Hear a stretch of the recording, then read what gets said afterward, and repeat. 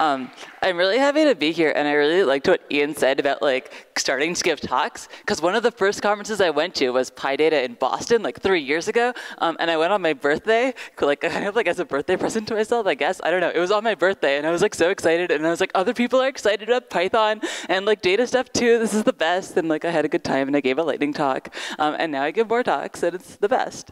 Um, so I'm stoked. So um, we're going to talk about machine learning um, which is one of my favorite things. Um, I, I, saw this talk uh, in the last session where um, the speaker was talking about how he trained a computer to um, to play Space Invaders and to win, right? And he trained the computer to play Doom and to win. And I was so impressed because like this is like the promise of machine learning, right? Is that like you're like one person and you have like your laptop and like some AWS instances and you pay like eight dollars um, and then you can like train a computer to do these amazing things. Um, and it's really true and I kind of love machine learning, um, but it's also kind of weird and does some dumb stuff. Um, so we're going to talk about like how we love it and also how it's kind of weird and dumb. Um, so um, about me, um, I, I, actually uh, spent the last two, two, years doing machine learning for real. Um, like they paid me and stuff, and I, I, worked on machine learning stuff at credit card uh, fraud. Um, so I want to talk for like three seconds about what machine learning is, just to make sure that like we all know. Um, so I, I, tried to come up with like the simplest possible problem, and I was like, well, when I see someone's name, I can like guess like what country they are they're from, right? So I can be like, oh, John is probably like American, like Johannes is probably maybe German or something, because um, like there's lots of people in Germany. Um, and so the way it works um, is like you would imagine like your perfect data set, and you would just take like every person in the world and be like, well, you have every person in the world named Julia, and like what country do they live in, right? Um, and then you take all of your data, and then you make it into a model, and you can imagine just like dropping all of the least common countries. So you could be like, Julia is like definitely American, which would be wrong because I'm Canadian, okay? Um, but like, um, you'd be right like most of the time. So machine learning is just like you take a bunch of data and then you make a model. And usually the model is like a lot simpler than your data, right? Like this model is like less, takes up less space on the screen. Okay, cool. Um, and yeah, so your model is basically just your data. Okay, so now that we talked about like really basic stuff, we're gonna do like weird stuff and talk about something fun, um, which is neural networks. Um, who watched the AlphaGo game and was like, oh my god, who's gonna win? Oh my god. Me too. I was like surprisingly into it. I didn't really expect it. I was like, oh, this is gonna be boring. And then I was like, but who's gonna win today? And then it kept on going for five days, and I was so into it. Anyway, um, so like I, I, watched this game, right? Um, and I was like really confused about what's going on with neural networks, and I wanted to know a little bit more about them and what was happening. Um, and in particular, um, there's this feature on Google Photos which had been like mystifying to me and upsetting to me for a long time, where you search for like beaches, and then it shows you pictures of like you at the beach. Like that's me at the beach in like Puerto Rico, and it was really fun. And I went with my friends. You can see. Anyway, it's just like so great. Um, and you search for like cars, and it's like oh, there's cars, but there's also like Turkish men fishing, um, which is different from cars. so like. Like it's like kind of good, but also kind of weird. Um, and then you search for fire hydrants, and it's like all over it. Like it showed me like only fire hydrants. Um, this is I went on a trip to Toronto, and like I was like really surprised that the fire hydrants were yellow. I don't know. Um, I took a lot of pictures of fire hydrants. Um, and then I searched for the word baby, and it just showed me pictures of me, which I didn't really understand. Like there were like only two babies and almost zero. Uh, yeah, it was just like all me. So like that's kind of weird. Um, so I want to know what's going on, and like something about how neural networks work. Um, so uh, I went to a bar one day, um, and someone gave me this paper. Well, they gave me three papers, and this was one of them. Uh, uh, because I only read papers if someone like gives them to me in person with, in paper. Um, so it was called Explaining and Harnessing Adversarial Examples, and I read it, and I was like, oh man, I think I understand something about neural networks now, um, and I want to like tell people about it. Um, and in, in, particular, one thing that this paper reminded me of um, was that neural networks are not, in fact, like magic. Um, they're just like math, right? Um, like you write down some equations and like you have your compu computer calculate some things and like maybe it works or maybe it doesn't. Um, and I remember that I have a math degree, uh, which is like very helpful. And I was like, oh, maybe I can like understand how this works because I actually do know math. Um, why not? Um, and I should say that I basically like didn't know anything about neural networks going into this, um, even though machine learning is my job. Um, and but I kind of wanted to know because I like felt bad that I didn't know anything about them. Um, so I read this paper, um, and the paper was like, pretend um, we have like a neural network that can classify images, um, much like the Google Photos thing, that like I don't understand why it thinks I'm a baby, and it can classify like pandas. So and and also other things. Um, so uh, it says you can take a picture of a panda, and then will be like, that's a panda. Um, and then you can change it a little bit, imperceptibly, so that the neural network thinks the panda is a vulture. So I was like, oh, that's like kind of surprising and weird and cool, right? Um, and like I felt like if I understood how this happened, um, then I could understand neural networks like a little bit better, like five percent better, right? Um, so it was like a four-page paper, and I had my laptop here, and I wanted to know like, can I like implement the stuff in the paper on my laptop? The answer turned out to be yes, uh, which was good because I emailed someone and I was like, I'm gonna write an article where I implement stuff in this paper, and then I was like, oh god, can I actually do it? and it was like kind of scary. Um, so the code for all this is all in like a Jupyter notebook, which is um, like on my GitHub, because uh, it turns out that it's not that hard um, even though it took me like four days. But I didn't know anything, so four days isn't bad. Okay, so what's a neural network? Um, I, I, find it like easy to get into the weeds of like, oh, what is it truly in its soul? And you're like, okay, it's a function, right? Um, it's a function which takes in images of dogs, and it's like, that's a dog, right? This one in particular. Um, and in fact, it doesn't just say it's a dog. Um, you take in an image of a dog, and then it's like, okay, it's maybe a dog, or a different dog, or a different dog, or a different dog, or a different dog. And then at the end, it's like, or maybe a tennis ball. And then it keeps going, and it's like, no, but I think it's a dog. um, um, so, so, so for like every different label in the data set, um, you have like the probability that this image is that label, right? So there's some lower probability that this is like um, a fence or like whatever, or a sword. Um, but tennis ball is the only one that made it up into the top 15. Um, and the shape of the input data um, is, of course, not actually an image, but like a, a, bunch of like RGB pairs, right? So these are the reds and greens and blues for a cat. I believe it. Um, okay, so then the next thing I did um, after I read this paper was I spent like 10 hours setting up like neural network software on my computer. Um, and I was like, oh, what's happening?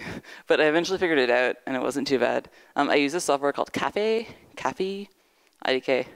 Um, and then, um, so the, the paper, I think people often talk about training neural networks. I don't actually know how to do that.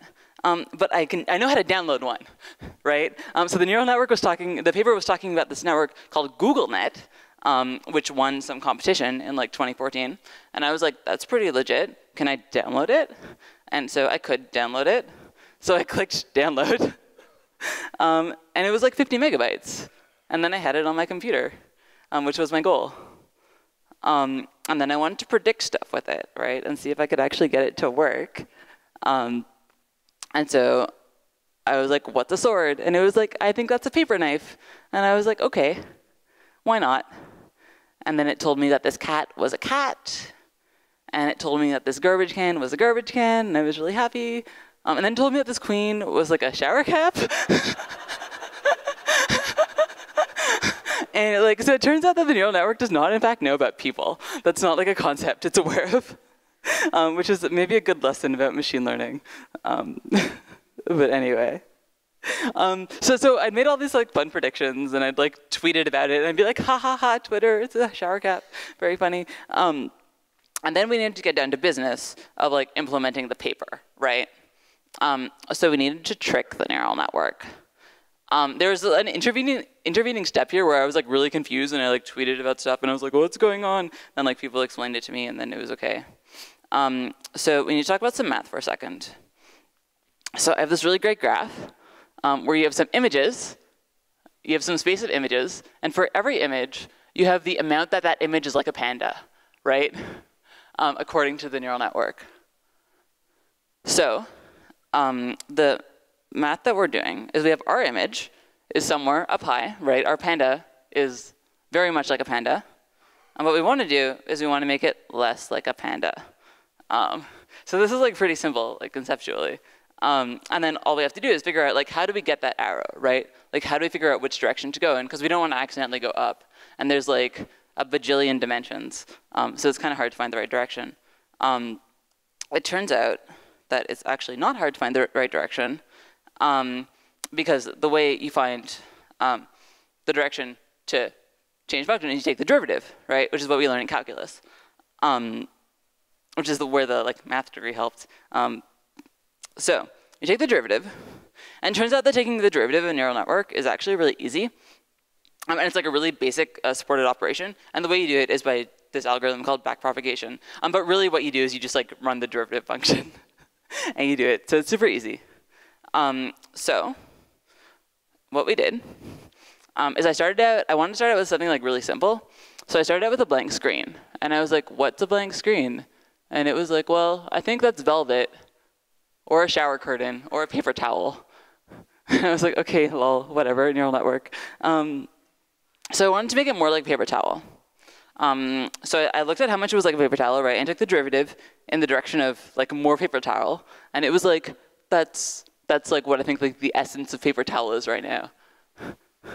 okay, um, so before we were at like four percent paper towel, and then when we add it, when we add this like vector, um, we get up to 14% paper towel, which is like cool, um, but not 100%. So um, the next thing I tried was I was like, well, if instead of taking one big step, I take a lot, lot of like little tiny steps, um, maybe it'll work better. So I tried that, um, and it totally did work better. Um, the blue line is like how much is like a paper towel, and it goes like all the way up to like 100% when I take a lot of like little steps. Um, and we end up with a paper towel. It's probability like 99.9%, um, obviously. Um, and if you blow up this image, you can actually see there are all these like little weird swirly things, which is kind of cool. That made me like feel better about what was going on. I was like, oh, it thinks that the swirlies are like paper towely or something. I don't know. Um, who knows what's actually happening? Um, so we can do a little bit more of this too. Um, so I took a garbage can, um, and if you take like uh, the derivative of the neural network around the garbage can, you get like a little garbage can shape, and it's really cute and I was really happy. Um, um, oh yeah, I also turned a kitten into a bath towel. So it turns out if you make a kitten less like a kitten, um, it quickly turns into a bath towel, which is like kind of adorable in a lot of ways. Uh, um, and then I subtracted the kitten from the bath towel kitten. So like, like, and then I got this. Um, and you can kind of maybe see okay, so I asked someone else if they could see that those like in the right corner there were ears, and now I'm like, maybe I made that up. So I don't know. Um, but I felt like there were ears in this image when I looked at it the first time. Maybe you don't. Who knows? Um, so, but I promised you the path from a panda to a vulture. Um, so I'm going to show you the graph. I did 100 steps. Um, and in order to become a vulture, if you're a panda, apparently you need to first become like a gibbon and a Madagascar cat and an ostrich and all kinds of weird other stuff. And I actually asked someone who works at Google about this. Um, and he was like, oh yeah, totally. There's like this like panda ostrich space of images. And I was like, what are you talking about? like, how is this an obvious fact to you? I don't understand. Um, but, I, but I, thought it was cool. Um, because when I work with data sets, um, I get to like know those data sets really well, and I get to know like weird facts about those data sets really well. Um, so I thought it was cool that like he obviously like knew this set of like input images to like this um, machine learning like competition really well, and he knew that like pandas. I think this might be just because they're both black. I don't know. I have questions. Um, um, so yeah, this was like the result, and I was really happy, and I got it to work on my computer, which is what I wanted. Um, I wanted to show you just like how much code this was Just like, I think not a lot. That was like basically all the code. It's like cut off on the side, but it doesn't matter because you can't read it anyway. Um, um, and the kind of like core of the code is that I was like, hey, I want to like trick this image into being this like desired output. And so I just like do this loop and then I like take the derivative and then like add like a small delta and then like I keep on doing that and then at the end I'm done. Um, so it was like surprisingly simple. And like I just tried stuff that I thought would work according to the paper that the paper said would work and then did work. Um, and this is stuff that you can kind of do yourself. Um, I wrote like a article about it, which you can go read. Um, and there's like a Docker image, and all the code is there.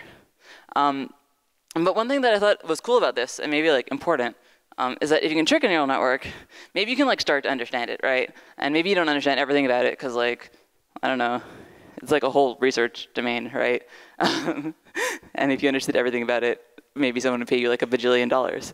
Um, but we can start to understand like something. And so we know that machine learning is really cool. Um, but the other important thing to think about is like machine learning is also kind of important, right? So you can do this like really cool stuff on your computer, um, but then sometimes the cool stuff that's used on your computer gets used to like affect like actual decisions and stuff, right? Um, like that's why like I got paid to do machine learning. So you have things like photo classification, which are maybe not that big of a deal, um, and maybe it doesn't really matter if uh, Google Photos thinks that I'm a baby. Um, but then there's like spam filtering, which affects what email you get, which is maybe more important. And then people often get really excited about things that are like, oh, maybe we can use machine learning to prove like loan applications, like to figure out like if you should get money to run your business. And I'm like, oh God, like machine learning is ridiculous. I don't want to do that. Um, I'm afraid. Um, so I just wanted to like talk through a few reasons to be kind of skeptical of machine learning, um, even though like I love it so much. Um, and so like one thing is that, like, and a, lot of these are things things that I think are really like evident to like machine learning practitioners. Um, so like it's only as good as the data you put into it, right? Like we talked about this like Julia is Canadian data, and if you like forget about like China, then like you're not going to be able to classify any Chinese people. Um, and but th this can happen in like less obvious ways, right? Um, so sometimes I would be like looking at um, like people would ask me why we didn't catch some fraud, and they're like, well, like what about this thing that happened a year ago? And I'll, and I might be like, oh, our algorithm doesn't know about stuff that happened a year ago, so it can look at that, right? Um, and it's really easy to like to like accidentally like leave out data, which is actually really important. Um, and then the machines can't learn from it because it's not there. Um, who writes programs? Who writes programs with bugs? Me too. Um, I think one, thing that I told someone, and they were like, oh, that's obvious, but I didn't realize, is that machine learning programs also just have bugs in them that are dumb. Um, so for example, like, you can imagine um, you could use like a country database to identify IP addresses, and that country database could just get out of date, and then you're like wrong about what country that IP address comes from and then maybe you make a bad decision based on that. Um, or maybe you just have a bug in your code, right? Um, and so like you kind of have like this like pure magical mathematical world of beauty, and then you have like your actual program, which is like quite different, and like may not actually work. Um, there's this really good paper about like the fact that machine learning programs have bugs and that it's like quite hard to design. Um, really robust, like large-scale machine learning systems called Machine Learning the High-Interest Credit Card of Technical Debt um, by Google.